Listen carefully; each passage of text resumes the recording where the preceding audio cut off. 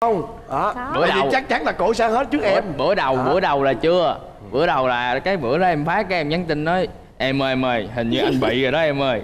Bây giờ em ờ, qua em mua thuốc cho anh hay cái gì đi?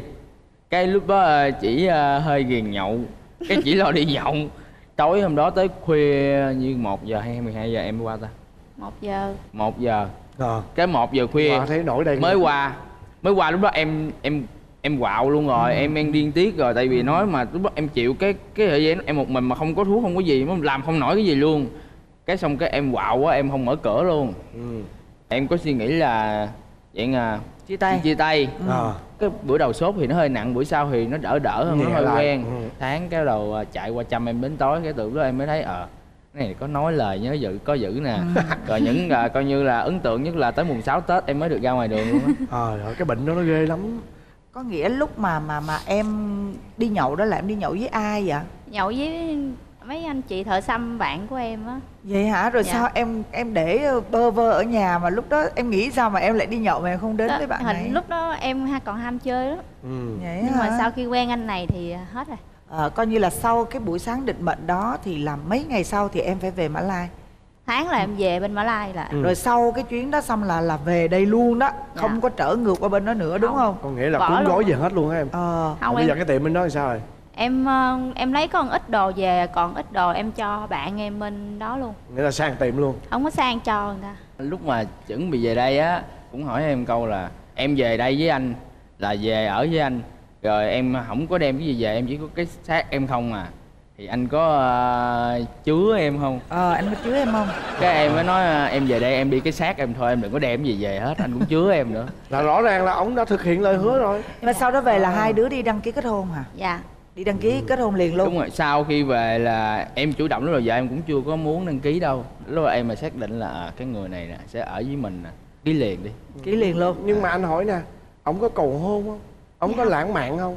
Sao? Bình thường á nhưng mà hai đứa tổ chức đám cưới chưa? Dạ rồi ạ. Rồi luôn. Dạ. rồi có con chưa? Dạ chưa. Chưa có rồi. con. ủa mấy năm rồi? Dạ mới có một năm. À. chưa được năm nữa. Bây giờ ở nhà đứa nào ăn hiếp đứa nào? Đây. Sao hai người cùng chỉ lựa bây giờ nói cái vụ tính xấu là biết liền ai. Rồi. Ở nhà là anh này anh có những cái tật xấu gì?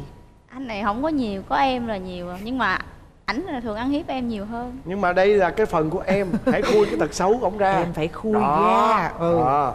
Buổi sáng đó là là là dậy là 11 giờ là mở cửa tiệm. Cái kêu hoài em không dậy cái ngồi trên đầu của em thả bơm cái điên lên em quýnh cho. Thả À. bom bậy. Nhưng mà xin chào hai em. Ừ. Dạ em xin chào ờ, anh Quốc Thuận, chị Hồng Vân. Em ờ, tên là Trần Thanh Tuấn Hiện ờ, em ờ, 27 tuổi và em đang làm xăm nghệ thuật tattoo em chào anh Thuận và chị Hồng Vân ạ. À. em tên là Trương Thị Xuân Thi em nay năm nay 29 tuổi em cũng là thợ xăm. Bây giờ anh hỏi nè hai vợ chồng em lần đầu tiên gặp nhau là ở đâu? Ai là người ấn tượng ai trước tiên? Em với ảnh là gặp nhau ở ờ, cái quán cà phê bên Gò Vấp á. Lần đầu tiên hai vợ chồng đi ờ, đi ốp ờ, cái nhóm tattoo á.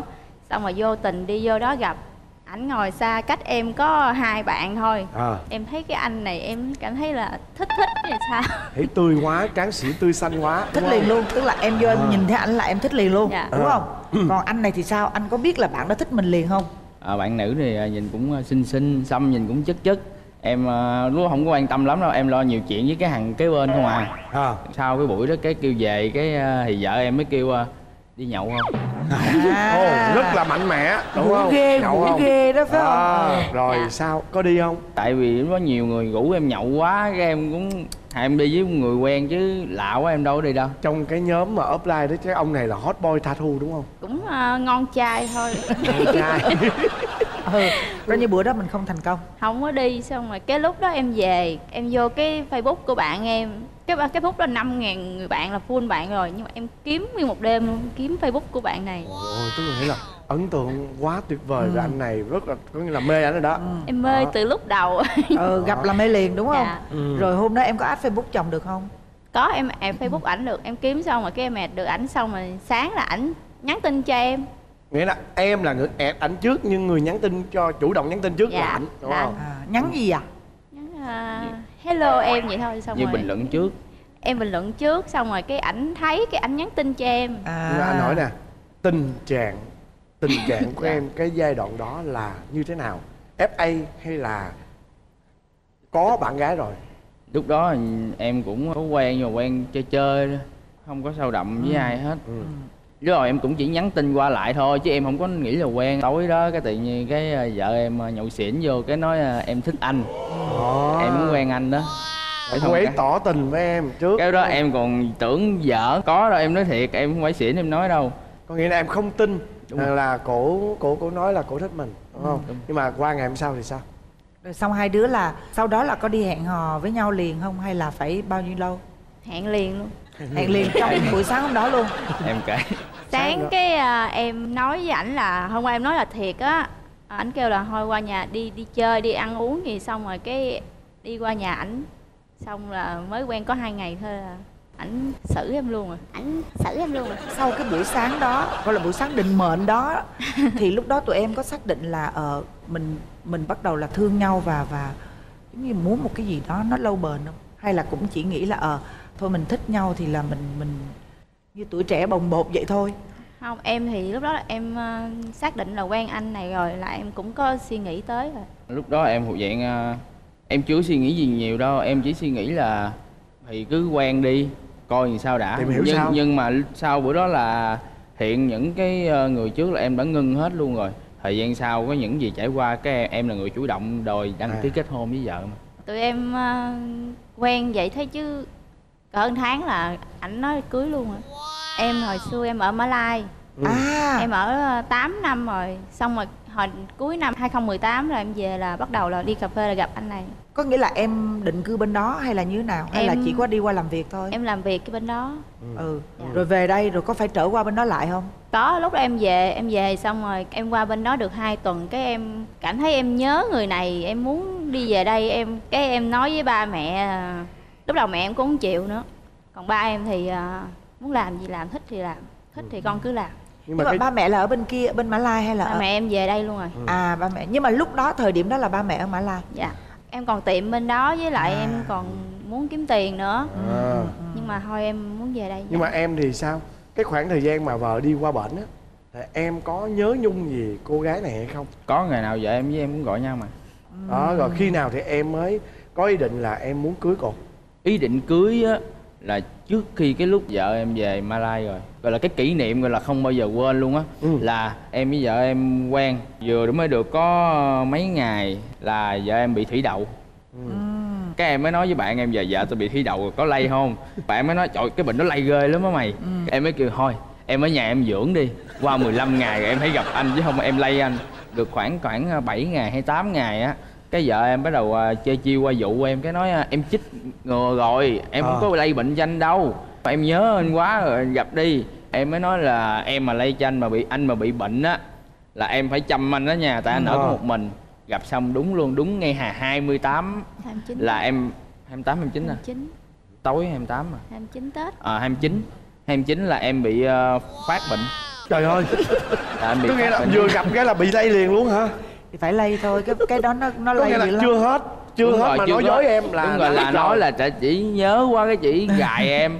Cái chị nói là à, à, em không có lây đâu em chích ngừa rồi bác sĩ nói chích ngừa không có lây. Rồi gặp rồi xong rồi em bị lây luôn. Không em Ở 29 đó em phát bệnh mà em tưởng em nói chung là nó ra là em muốn chết luôn á. Tại vì nó nó nó vừa chóng mặt mà nó vừa nhức đầu mà nó sốt nó nóng lạnh mà nó nổi sừng hết trên cái đầu luôn. Ờ, vậy á hả? Rồi xong- có hận không? Lúc đó em có hận không lúc đó em quạo luôn. Có nhưng mà cổ có chăm em không? Đó Có. bởi vì Bữa đầu. chắc chắn là cổ sẽ hết trước bữa, em. bữa đầu Đó. bữa đầu là chưa?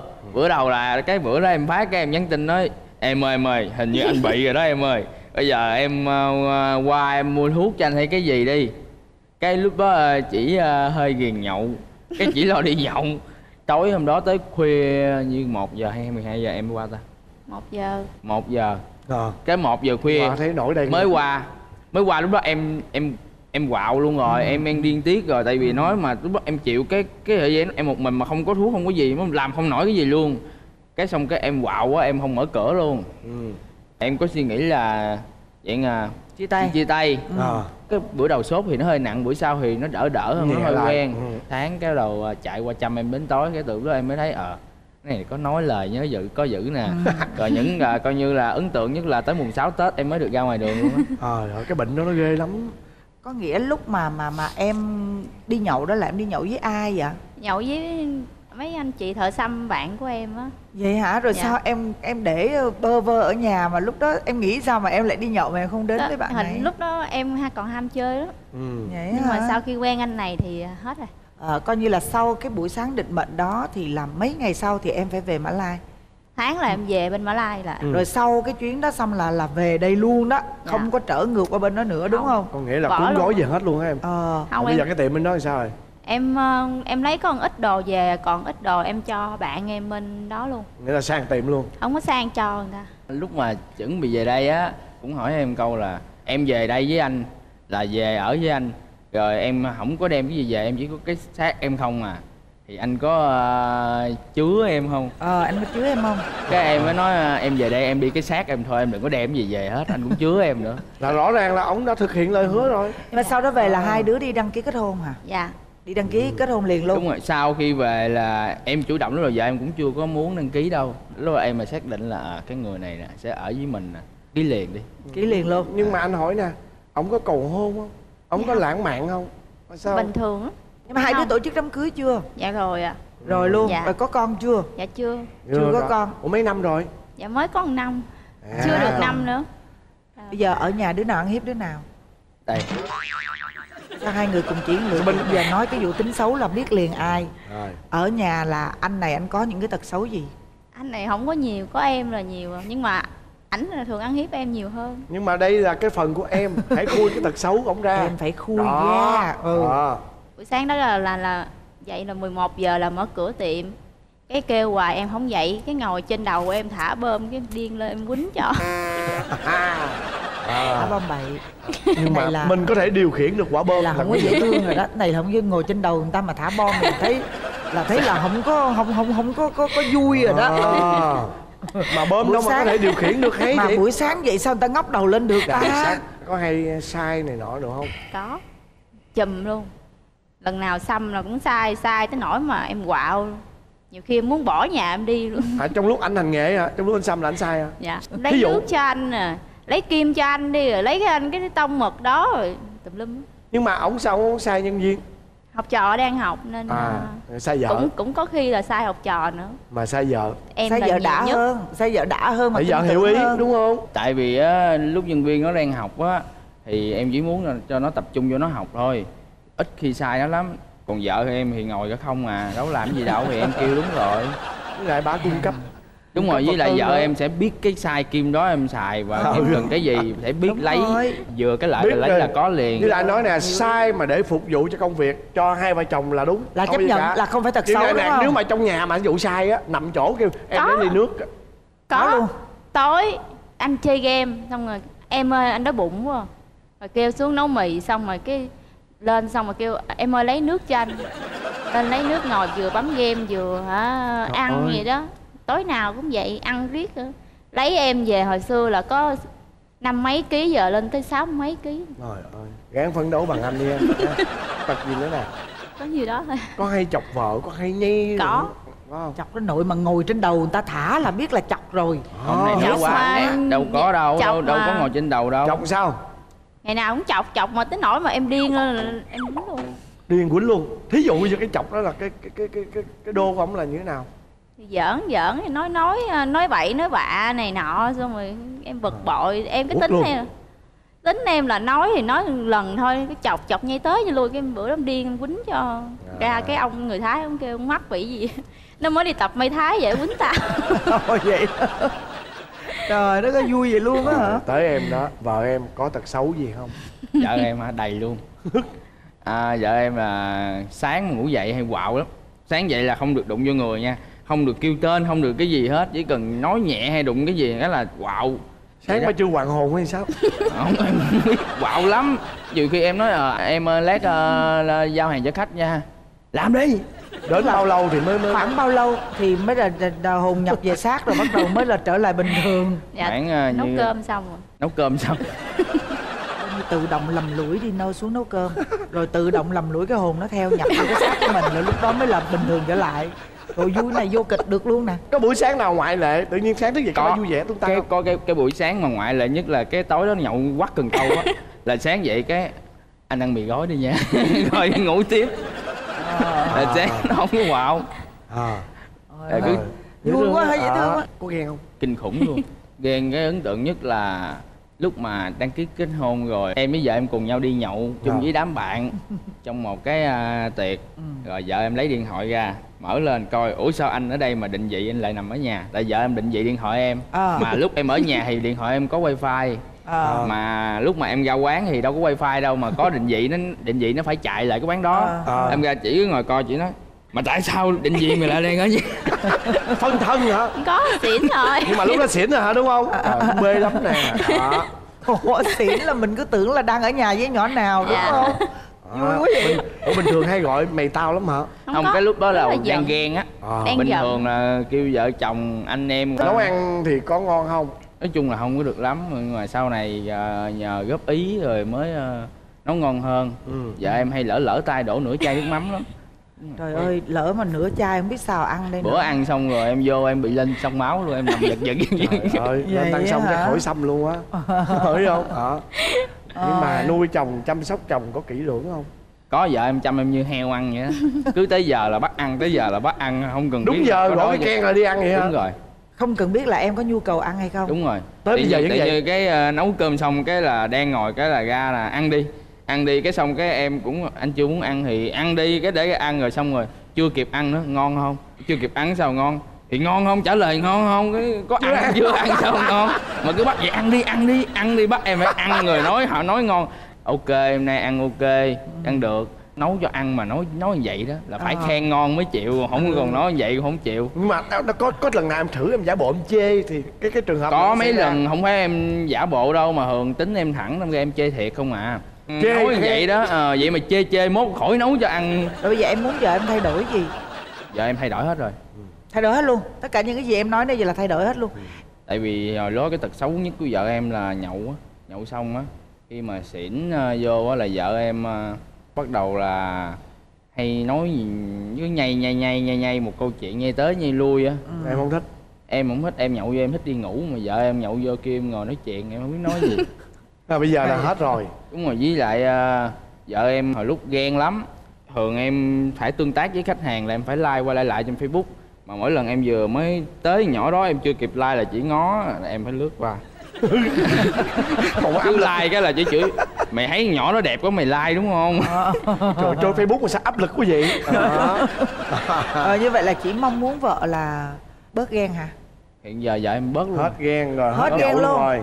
Hết nhậu luôn trời vậy là hoàn hảo quá rồi. Cứ như vậy em à đúng Ừ. không? Không bây giờ vẫn nhậu nhưng mà cái là khi nhậu xong là vợ em không có tính Không tính làm như em hồi nữa. trước nữa. À, Còn em em muốn anh xã của mình thay đổi điều gì? Dạ ảnh thì à, hoàn hảo quá nên em cũng không có Cứ giữ nguyên. Dạ. Trời Dạ. cái cặp này đáng yêu quá. Giờ cái nói cặp gì nữa này là mình không có nói gì cả giờ mình chỉ chúc thôi. Dạ. Mình chúc cho các bạn là lúc nào cũng hạnh phúc như thế này Ừ. dạ. yêu nhau như thế này rồi công việc thì càng ngày Thuận càng lợi. tấn tài À. tấn lộc thuận lợi. Thiết là nhiều khách. Muốn có em bé không? Dạ, có. dạ có. À.